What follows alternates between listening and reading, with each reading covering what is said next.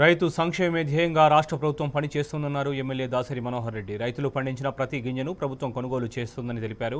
పెద్దపల్లి జిల్లా ఓదెల మండలంలో ఏర్పాటు చేసిన వరి ధాన్యం కొనుగోలు కేంద్రాలను ఎమ్మెల్యే ప్రారంభించారు. కొనుగోలు కేంద్రాలను రైతులు సద్వినియోగం చేసుకోవాలని ఎమ్మెల్యే కోరారు.